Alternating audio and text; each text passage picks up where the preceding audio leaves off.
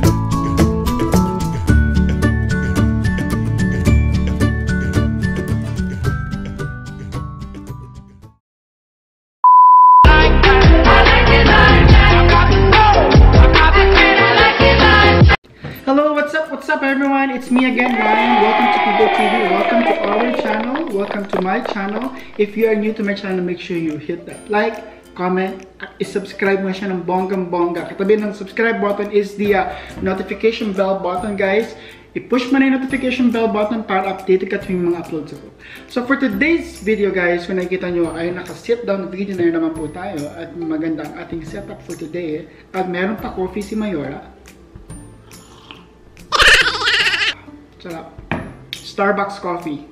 Pero hindi siya sponsored guys. But anyway, so another sit down video. Kung hindi nyo alam, meron po tayong Kiggle TV page. Ilagay ko yung link sa baba sa description below. At pwede rin nyo na makikita sa may kanan o sa kaliwa kung saan ko man siya ilagay yung facebook.com slash TV. So guys, kung may gusto kayong ipagawang video sa akin dito, kung hanggat alam ko, hanggat alam ko yung proseso, make sure you just message me on Facebook. Mabilis naman akong mag, uh, mag-reply, usually less than 24 hours. Kasi lagi yung chinecheck na update yung, yung account natin. But anyway guys, so today's video, para wala na patumpik-tumpik pa guys, sa mga gustong bumili ng bahay dito sa Canada, ginawa ko itong video na to. It's because a few of you guys actually requested, requested this video. We'll talk about things that you need to consider before buying a house in Canada, okay? In Alberta. So, hindi ko alam kung ano yung processing about sa ibang provinces ng, ng Canada. Pero ito guys ay sa Alberta, Calgary lamang. So, Kegel Squad, the first thing you should consider is yung income mo. Pa steady ba yung income mo? Uh, yung job stability mo ba okay siya. So, when I meant by steady income is yung gross income mo annually is at least greater than the amount that the bank requires. So, nung bumili ako ng duplex, guys, ang nirequire ng banko sa akin actually is 80,000 per year. So, annually yon uh, 80,000 Canadian dollars ang dapat kong ma-provide sa sarili ko. Gross income yun, guys, hindi siya net. Uh, annually, para ma-purchase ko yung bahay. So, for example, meron kang down payment na na 5% ng total amount ng bahay. Pero kung hindi naman steady yung income mo at saka marami kang utang, hindi siya ma-approve. So number one talaga is yung job stability, yung income mo. So nung bumili ako ng bahay guys, couple of years ago, chinek nila yung the last 3 years ng income ko. Nag-send ako ng uh, tax assessment. So, sinend ko yung tax assessment ko. Okay naman siya guys. Na-approve ako for this duplex. It's a 2-bedroom master's suite uh, two and a half baths, wala siyang garage, wala siyang mga basic supplies, wala siyang uh, washer and dryer, as in basic, basic, basic lang na-approve sa akin na bahay. Guys, kung yung source of income lang pag-uusapan natin, marami ditong Pilipino na nagwo-work as full-time, and at the same time, nagwo-work as casual sa iba. So during this time, during that time, nung nagpa-pre-approve ako, I was working full-time as a nurse and I was also working casual sa isang long-term care facility dito sa Calgary. So, combined those income, na-achieve ko yung minimum na 80,000 Canadian dollars na nire-require para sa duplex na gusto kong bilhin dito. So guys, the second thing that you need to consider is yung down payment. So, malaki nga yung pera mo for down payment, pero yung annual income mo naman every year is hindi maganda, hindi na siya ma-approve. So make sure it comes hand in hand. So maganda yung income mo at saka meron ka talagang pang down payment. Yung down payment, iniipon yun every year. Ang hirap siyang ipunin ng uh, in one year, lalo na kung marami kang binabayarang bills, o lalo na kapag nagre-renta ka pa lang. Pero kung dalawa kayo, or meron kang common law partner or asawa na makakatulong sa'yo para sa down payment, it's good. But in my case, guys, it's different kasi, kasi ako lang bumili ng bahay na to. It is solely under my name. Payment, guys, ang hinihingi dito sa Calgary pag first time home buyer ka is 5%. So kung, kasi nabili ko itong bahay is 350,000 350,000 Canadian dollars. Ang da ang 5% ng 3 uh, ng 350,000 is 17,500. Nagdagdag lang ako ng konti kasi the more yung down payment mo, the less yung babayaran mo every year. Gets? So kung if it's up to you kung gusto mo magbayad ng 10% ng total number, yung 10% as a down payment or 15 or 20%, it's up to you guys. Uh, you also need to consider na yung pagbabayad ng mortgage dito. So for example, na-approve ka na ng bangko, tapos nagbayad ka na ng down payment mo, nagbayad ka na ng, ng mga closing fees mo, you should also consider kung kaya mo bang bayaran yung mortgage mo annual, uh, monthly. Talk about mortgage, dito sa Calgary, 25 years yung maximum na allowed na mabayaran mo yung bahay. Dati kasi is 30 30 years. So, mas mahaba. So, mas, medyo mas okay pa siya sa budget mo, sa bulsa mo. Pero ngayon, mas binabaan nila 25 years. So, mas malaki yung babayaran mo. Mortgage, we talk about mortgage. Ang mortgage ko every month, eh, bi-weekly kasi ang binabayaran ko. Pero uh, every month is about 1,900. Canadian dollars. So 1,900 Canadian dollars every month. Hindi pa hindi pa kasama dun yung mga iba't ibang bills, yung mga yung mga electricity, yung water, etc., etc., etc., which we will be discussing in the next few steps or yung few considerations. So, yun nga, so kung first time home buyer ka, nag-offer sila ng 5%, pero pag second time home buyer ka, I think you need to pay 10% ng gusto mong biling bahay. So guys, number 3 ang yung credit score. So credit score guys, hindi mo siya pwedeng gawin sa bahay. You need to go to the bank to get uh, your credit score.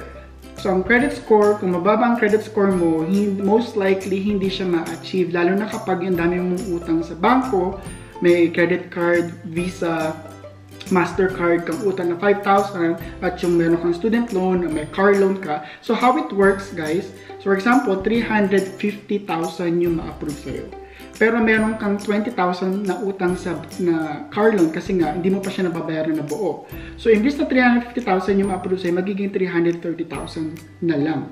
So that's how it works. So kung tsaka kung malalaman nila dito kung nababayad ka ng on time sa sa bills mo sa sa electricity, sa, sa telephone, sa credit card, malalaman nila yun through uh, credit score. And it's very important for the developer, tsaka yung sa banko, na maganda yung credit score mo. Kasi ibig sabihin, kung ano man mangyari, mawalan ka ng trabaho, in, in, for example, ma-lay off ka o nagkasakit ka, kaya, pa rin, kaya mo pa rin bayaran yung bahay mo. Number four that you need to consider is yung bills. Mahal yung bills dito sa Canada. So before, before you venture into you purchasing your own house, gusto ko lang sabihin na hindi ko ine-expect na ganito yung bills na babayaran ko every month. So meron kami tinatawag na NMAX.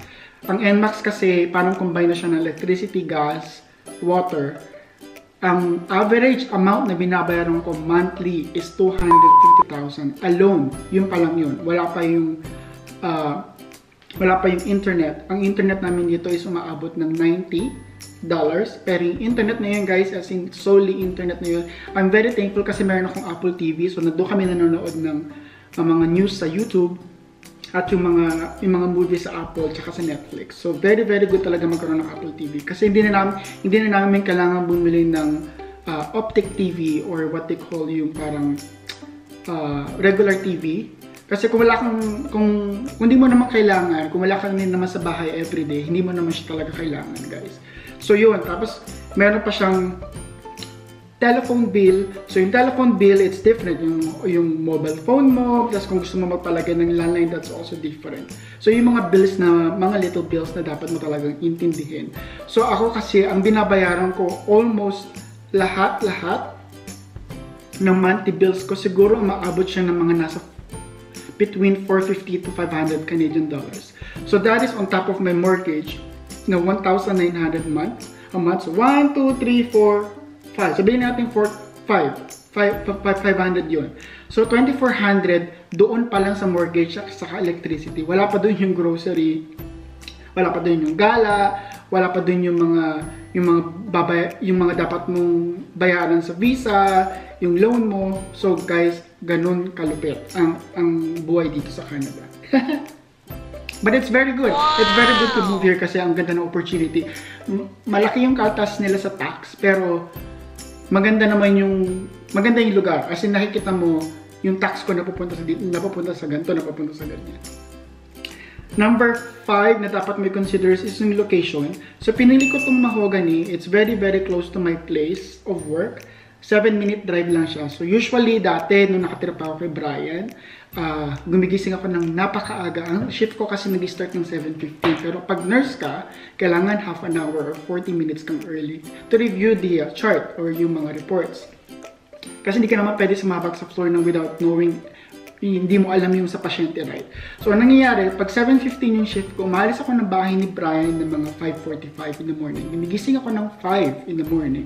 Tapos, depende pa yon kung may snow, uh, kung kung may snow, tapos kung may traffic, kung muulan, oh my God. So, kailangan ko mag-alap ng much more time. So, ngayon lumipat na ako dito sa Mahogany, which is very close to my place, uh, my uh, workplace.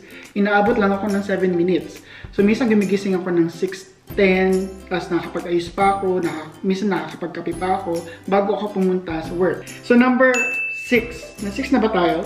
So, 6, guys, is tax.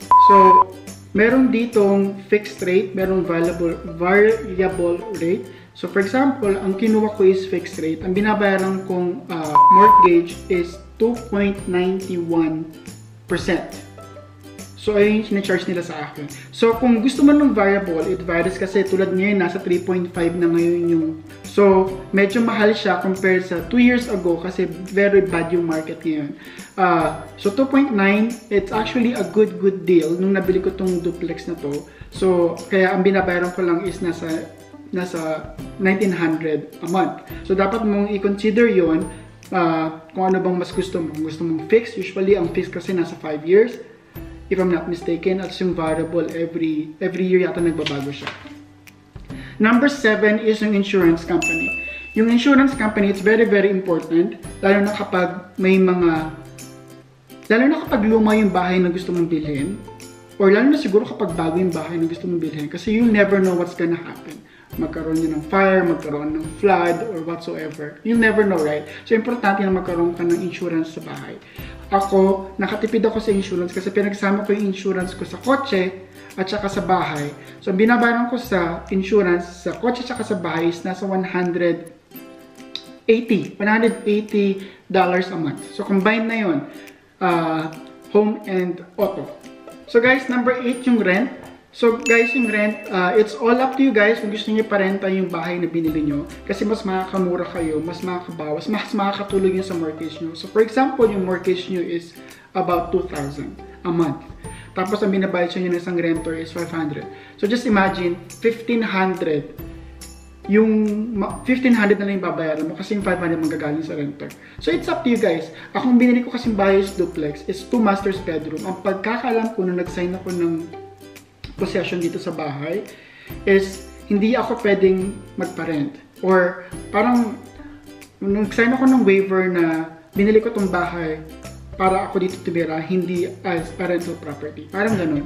Uh, but I think it's up to you guys kung gusto mo siyang iparent. Ang basement kasi namin is unfinished. So siguro pag na-finish na yung basement namin, we'll see. Pero wala kasi kaming separate entrance para sa basement. Kasi duplex nga siya guys. Pero we'll see in the future baka ipaayos ko yung basement tapos kasi, tapos magpa-rent tayo. Pero it, it, I don't think it's gonna happen in the next few years kasi medyo wala pa tayong budget para itaayos yung basement. Pero guys, ayun, makakatulong sa inyo yung rent Pero ako kasi very picky, very OCD, very uh, very minimalist ako. Ayoko na masyadong maraming gamit sa bahay. Ayoko ng maraming mga paintings, ayoko maraming na nakahang sa bahay. Kaya ako, mas gusto kong tumira ng ako lang o yung family ko. Number 9, ano ba yung gusto mong bilhin?